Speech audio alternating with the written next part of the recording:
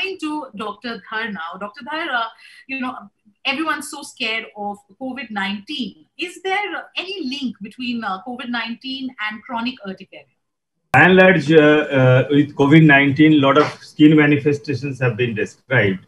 And people who are handling, uh, you know, COVID, as well as we, we are uh, doing our dermatology services, giving our dermatology services to the patients.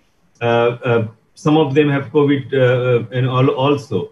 So we get to see different types of lesions but uh, by and large, urticaria is a non-specific manifestation which can appear for any condition. There is nothing specific about COVID-19 and urticaria, right? Having said so, I must say that uh, a number of uh, skin manifestations or skin conditions which have been described in COVID, urticaria is definitely one of them.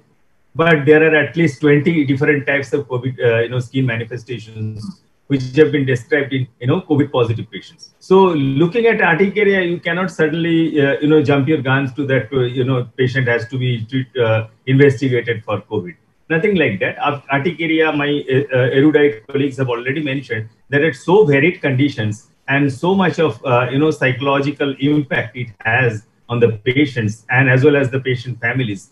Since I do pediatric dermatology, it causes a lot of anxiety in the parents.